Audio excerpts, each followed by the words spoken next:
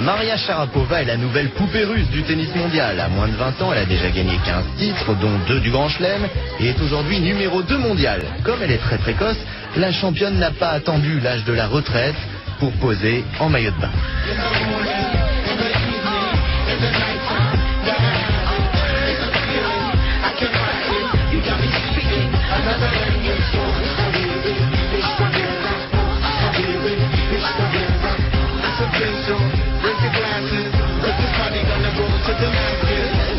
She said her dad's in the army, and he's the number one sniper.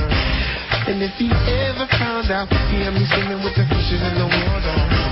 Now I'ma say something crazy, girl. I love you.